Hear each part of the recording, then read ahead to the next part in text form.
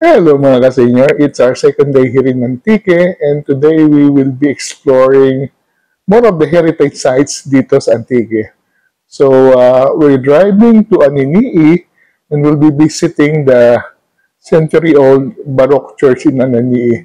And then lilip, uh, tatawid tayo ng boundary to Iloilo and bibisitahin naman natin ang uh, very historic and heritage town of San Joaquin, visiting its uh, church as well as its cemetery. Kaya tara samahan niyo ako as we continue our journey and adventure dito sa Antique and Iloilo. Kaya tara na and let's go!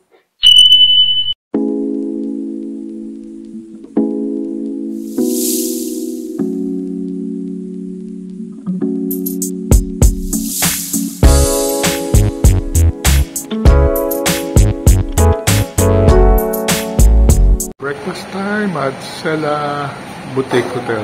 Ganda.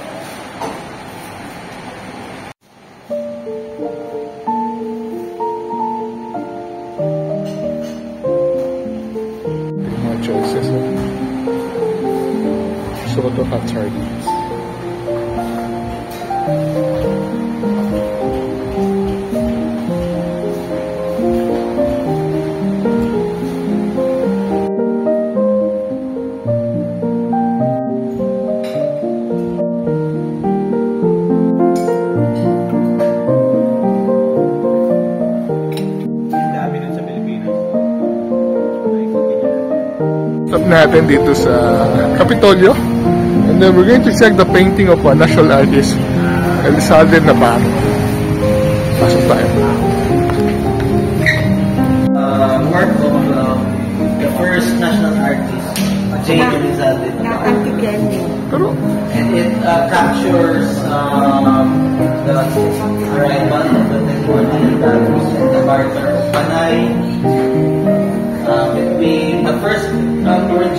inhabitants Panay Island, the Atis, and uh, the second uh, settler, no, the first settlers, um, the Bornean Datus. Kiniraya. Um, Kiniraya.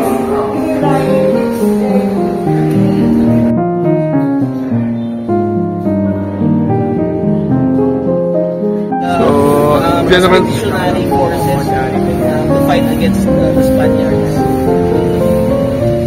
same spot siya na binaril. Ah, so, Nakata- Nakatakbo pa ho siya. dito sa exact spot na ito. Tapos na, de, dito po siya uh, tinira. Na baril. Ah, e- Emilio Javier. This sculpture was made by uh, Napoleon Abueva. Ano yung post na niya pa kanina? Sa Azurin, one of the oldest uh, heritage houses dito sa Antique. So it's an important cultural property.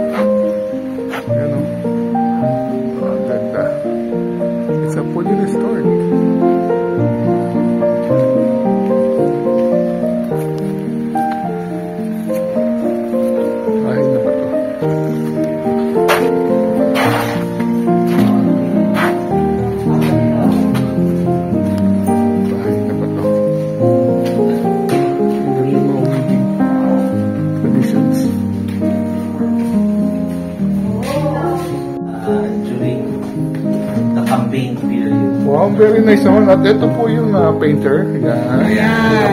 Yan. I was surprised that my artwork was displayed here. this, uh, this, the title of Surprise, this surprise, painting, nilagay mo kagabi yan.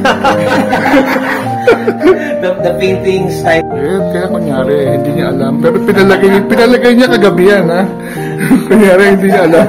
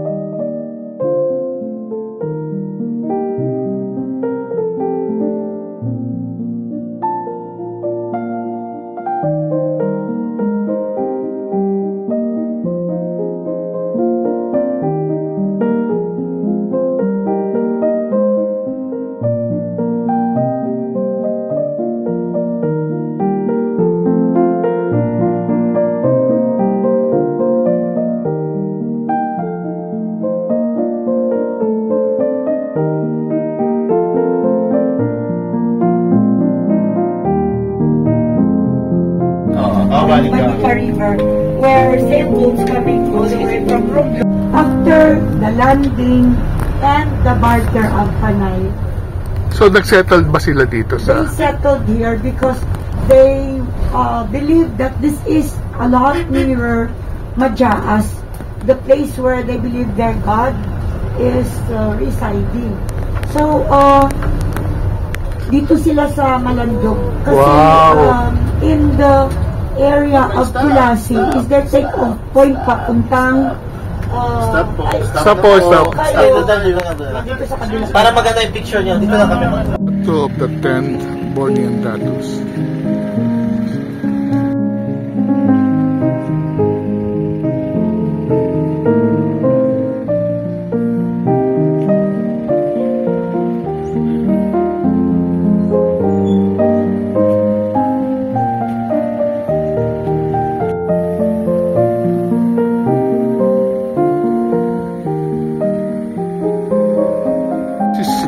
Dato Paliburong at siya yung may hawak ng golden sa lakot.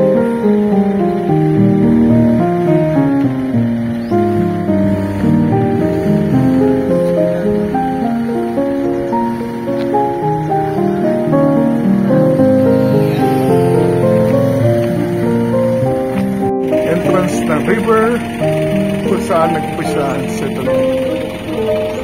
Yan yung river na yan.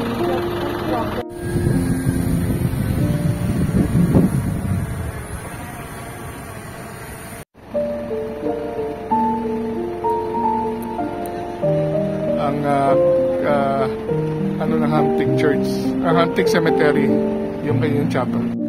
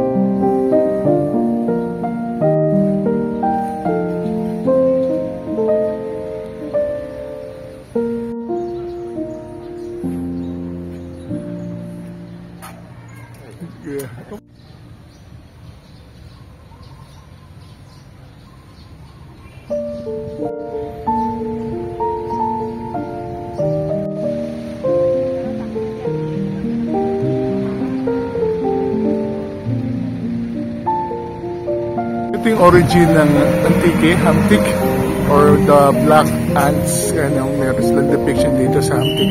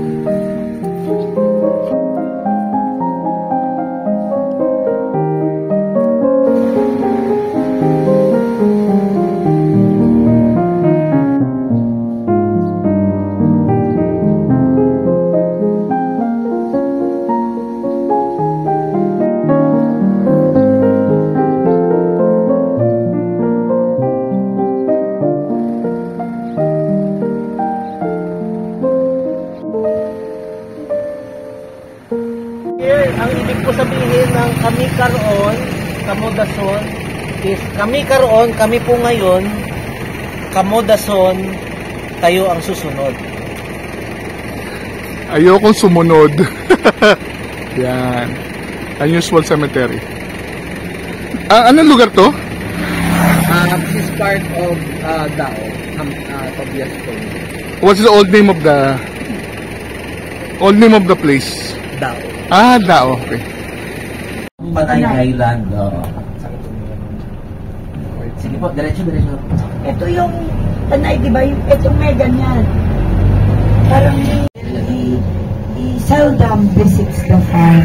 Ang sabi ng mga weekend, Iloilo, marami din namang political clan in Iloilo City. Pero yung, yung, ano, yung galing family, yung mga sinasabi sa kanila. Kaya, ang dami nilang loyal leaders dahil the community was well taken care of. Ah, tapos yung second point is yung Bugnayan point. And then the last point is the Naso. Ang all three of that, they form the well-known Cresta de Gallo na location for right So ang each points have something to offer. Like yung Bugnayan point is known for the wheat coral forests at saka yung Barros Pandes that are more than 500 years old. Even pa na-build yung mga churches, nandun sila, nag-exist sila. So, it's actually a cultural heritage na na life form na buhay na who has existed and has seen the world ever since.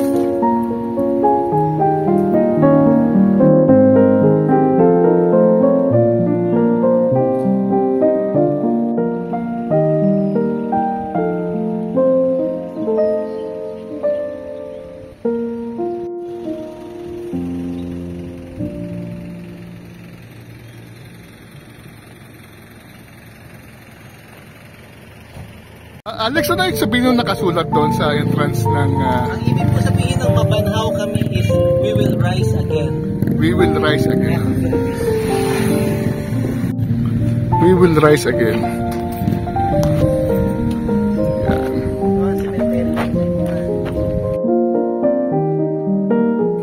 O, ah, dahil sa tabing tayong dagat, ang cemetery dito mayroong ah, coconut trees, di ba? Napaka-tropical setting naman ng cemetery niya.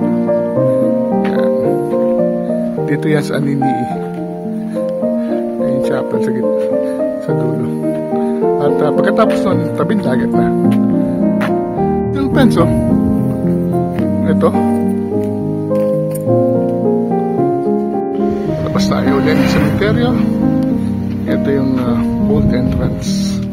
Diba?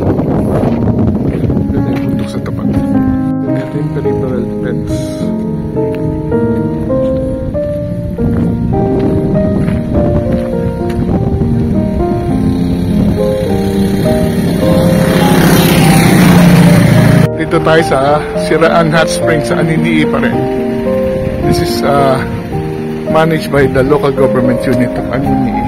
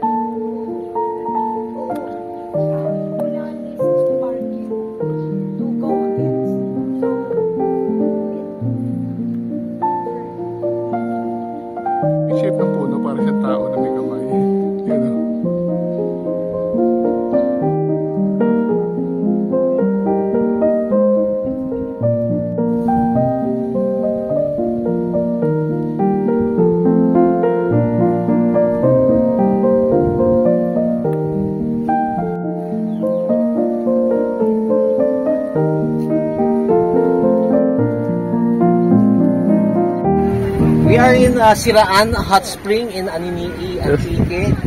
And um, we can see here yung uh, bukal, no? So I, this is uh, yeah. the oh. entire area where yung you can see um, dami oh. Umuusok. where the bubbles are. Oo. So fresh water siya. Yes po. oo. Yung umuusok. Oo. And then uh, heated po siya. Heated, oh. Because of there's I think there's an uh, there's a volcanic activity here. Um, may- kasi may- parang may meeting of the plates. That's why you can also um, see doon sa taas banda mamaya yung um, VBOX Research uh, and Monitoring Center. Is it possible that the whole Anini area is volcan? Is a volcano? Pwede po. oo. It's possible. Oh, Then possible. uh, naka-separate siya. It's like a rounded area on the... Uh, sa map. yeah, oh. And Wow. we'll never know, baka meron din ano, underground uh, Underworld. you know, volcano. Oo nga, no? umuusok. Kasi ito po sir, at yung cliff na ito, ang lalim na po nito. Yung ah, coastline nitong ah, Siraan Hot Spring. Kaya parang nagba, nagsiship yung ano, yung lupa. Hindi siya stable. Wow. Ayun. Joaquin, ito Punta na Naso. So, uh, boundary na to ng Antique. Ng, Almost, pero hindi pa. ano, ano, anong punto? Anong punta? Punta Naso. Punta Naso. Naso point sa map. Okay. Ganda oh. Ito eh. One area. May drop siya no? May drop talaga siya. Mga siguro mga 5, 7 meters na and then drop na siya, wall na siya kaagad. Wow. Maganda, maganda talaga dito sa How about the corals? Anong anong stat, estado ng corals niya? fair, fair condition. Hindi pa talaga like totally very good kasi for a, for a time maraming fishing activities dito eh. Uh, So, but uh, visibility wise, maganda dito pag ganitong month. Pagka ano naman, mga habagat o yung pag uh, umuulan, medyo yung rough yung visibility na kasi yung water from the mainland dito nag ano, eh, nagde-drain dito sa dagat. But still manageable naman pa naman.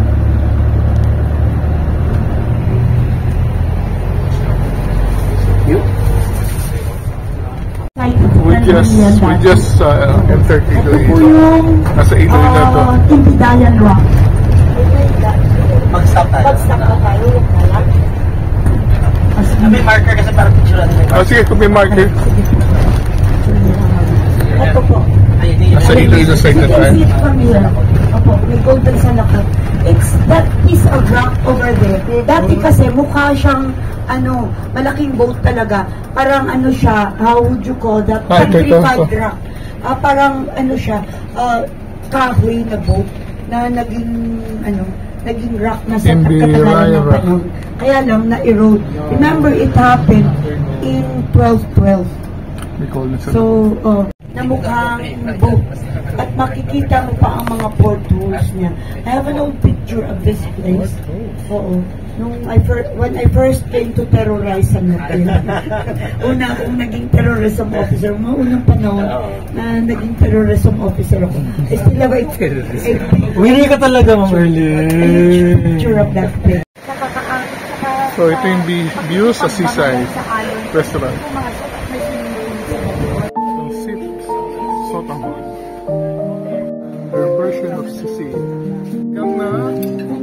Panigay sa batuan.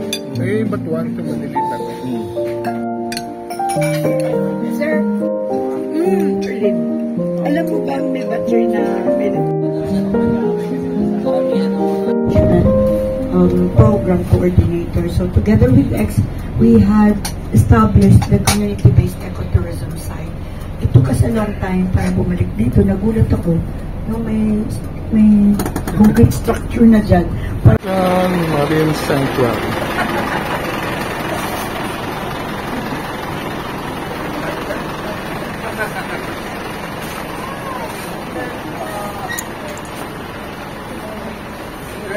Yeah, good afternoon po. Mabuhay.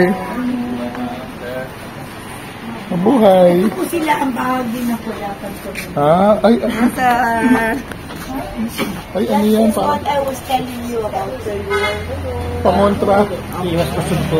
Kaya pusod. So, Nagsun. Third honor. Afternoon, mabuhay. po nila na-establish po ang Marine Protected Area. Si Cap Munding po, Hmm. Magandang hapon po. Then hapon po.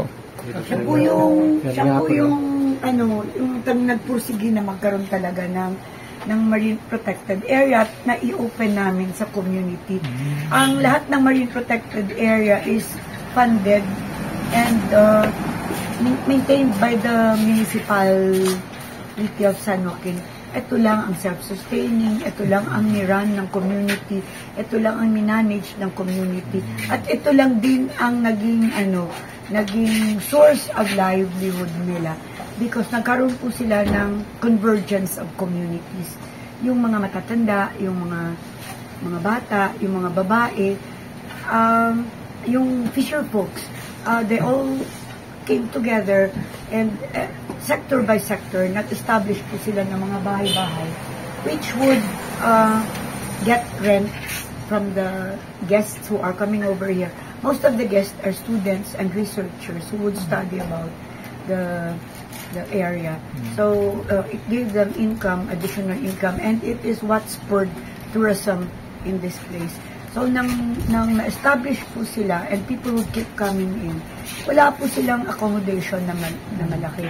Kaya nagkaroon ng seaside co. Uh, So, may, may establishment po, may mga cottages po, may decent cottages po na, na mag-accommodate ng guests nila.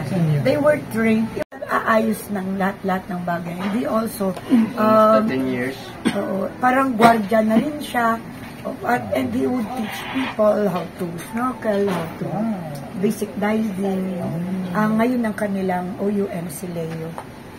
Uh, they need younger blood. Kasi si King George, medyo senior na siya. He helps around, pero uh, he stays here. But the main task of, uh, of doing the job is yun yun. So, um, Talaga sa bundok. Direct po dito. Wow, ang ganda na, ano, ng, ng pato. Romantic. Kahit maligo kayo ilang araw. Wow!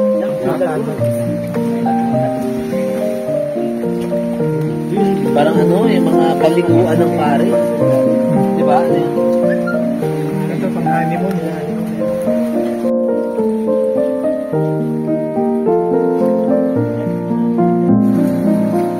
May mga fossils. Saan? Yung mga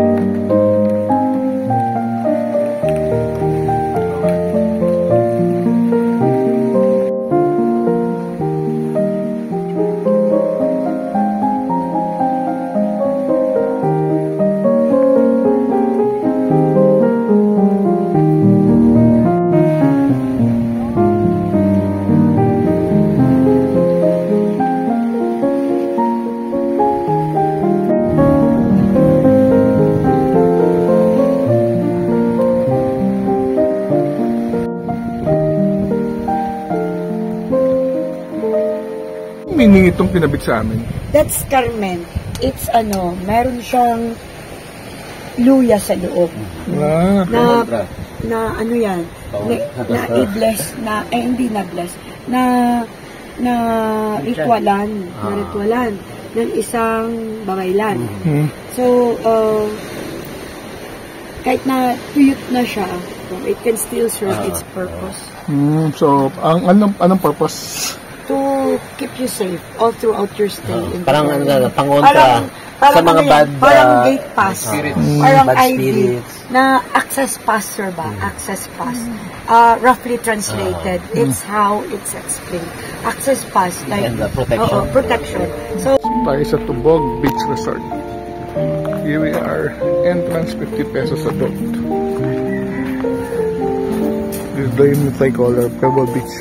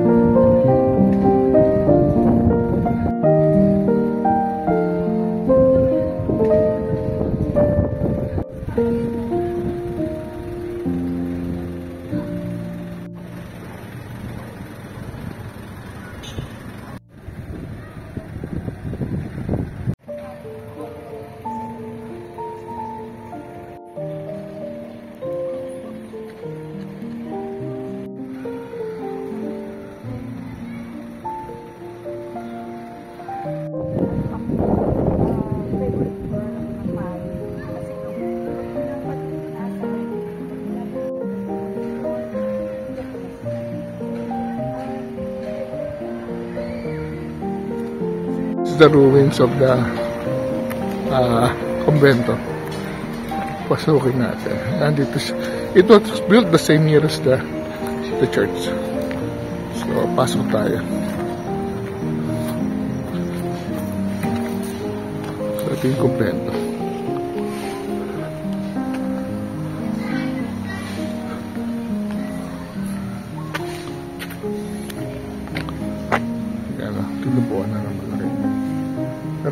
Makita niyo coral stone din.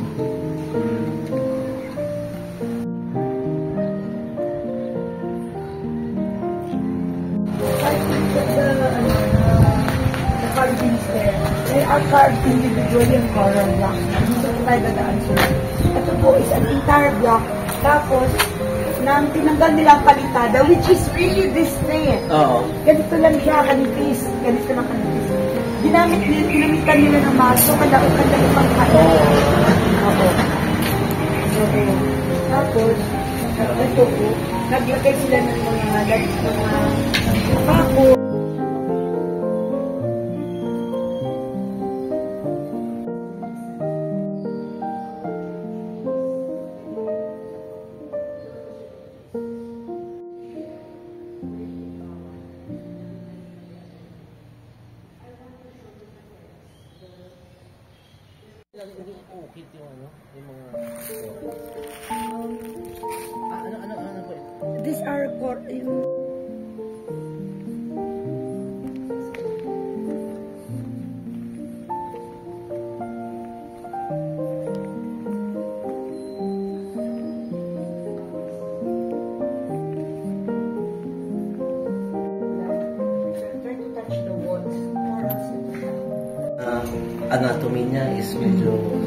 So the baptism by San Juan Bautista eh, is, is original ano ba to? Coral stone. Naka-corals po yan. Nakaukit po ito sa bato. Mga bato and then original din pala. So, um, sa labas,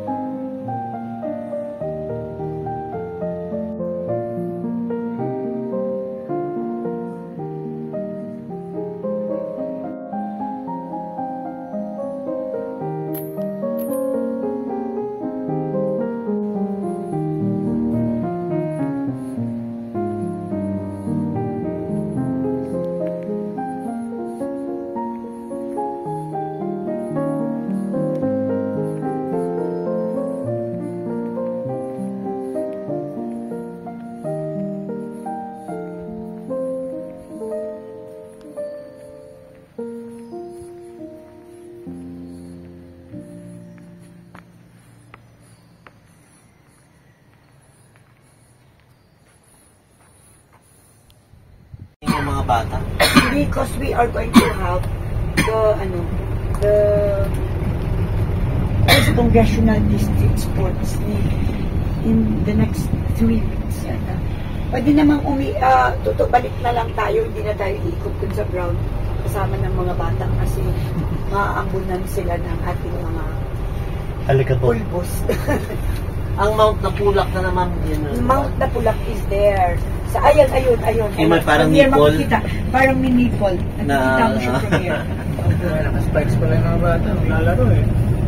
So may football din pala dito. Oh, oh naman. Ay naman, ilo-ilo. Pag-Iloilo, sir. Yung Football home talaga, country. hometown talaga ng football. Barota. Sa Barota. And did you know that the first football player ng Pinoy was at Ilonggo? Diba? Hmm, Yung, si Alcantara. oh, yung record niya na na Most break goals, lang. oh, ni Messi. 300. Ni Messi, just recently, diba? Pedro Alcantara. Pedro Alcantara. Paulino. Paulino. Paulino, Paulino. Paulino. Paulino. So mga bata na ito is Paulino, who became a Alcantara. football player at the age of 16. Oo. When he played for the Philippine team. Pala kasi mahangot. Ay, ikaw ba naman, matakpan ka ng ganyan. Nasa gitna natin siya. Ay, diretso tanoy. Okay. Diretso. Tapos ito yung mga bus. Ito yung mga gustos na mga former mayors. Yan, ang ga- Eh, Ito, ano to? Gabaldon. Gabaldon building. Okay.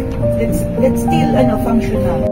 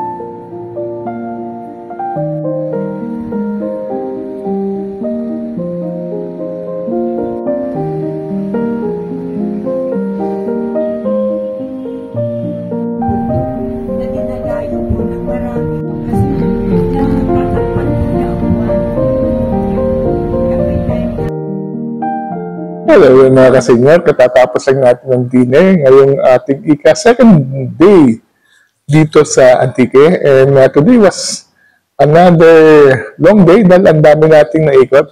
We actually uh, drove uh, and explored natin ng mga towns sa southern tip ng Panay Island. So, it included three towns of uh, Antique and uh, first town of Iloilo. So, we started very early. Uh, nag, uh, we had a very nice, delicious breakfast dito sa Sela Hotel. And then, uh, nag-proceed muna tayo sa poblasyon ng San Jose. Uh, pinuntahan natin yung kanilang kapitolyo kung saan nakita natin ng work sa isang national artist, si Elizalde, na nandun sa, sa may loob mismo ng kapitolyo. And then after that, inuwi ko tayo sa sa sa tourism area, doon sa lugar ng uh, uh, Evelio Javier Park, and then finally, pinuntahan natin ang Casa Azurin na isa sa mga uh, remaining uh, ancestral house dito sa Antique at uh, na-restore na rin siya. After that, nag-proceed na tayo sa Hamtik, ang next town, where we visited the giant statues of uh, the ten Bornean Datus, as well as we visited the beautiful uh, centuries-old uh, um, simbahan sa loob ng kanilang sementeryo. From Hamtik, we proceeded to Tobias Pornier. Bumisita ulit tayo sa kanyang bayan, sa poblasyon. Nakita natin simbahan at saka yung uh, monumento ni Pornier. And then, nagpunta rin tayo sa unusual cemetery nila. After that, dumiretso na tayo sa sa isa sa, pina, sa bayan na Anini. Ito yung lugar na matagal lang natin gusto puntahan dahil hindi ko natin actually yung kanilang coastal road at nakita natin ang fully restored na Spanish era church ng uh, Anini. And then, uh, dumaan din tayo sa kanilang cemetery.